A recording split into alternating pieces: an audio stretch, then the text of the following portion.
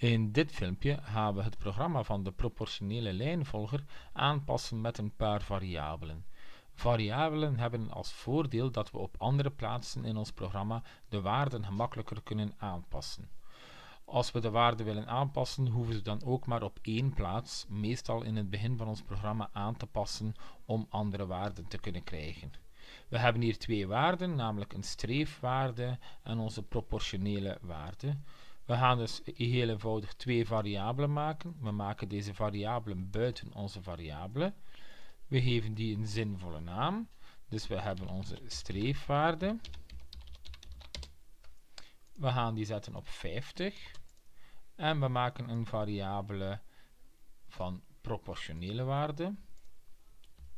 Ik ga die propwaarde noemen. Proportionele waarde is veel te lang propwaarde en die maken we natuurlijk 0,8. Als ik hier die 50 verander, zal die natuurlijk hier nog niet veranderen. Ik moet nu eerst die variabele ervoor zorgen dat deze waarde hierin terecht komt.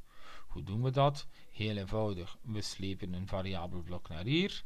De streefwaarde, we gaan niet schrijven, maar we gaan lezen. We lezen numeriek en we maken deze dataverbinding.